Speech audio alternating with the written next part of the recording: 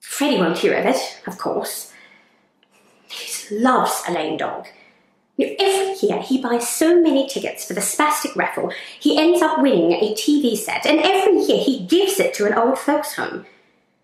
He used to try making me come along on his visits, but I said it wasn't really me at all, and he gave up.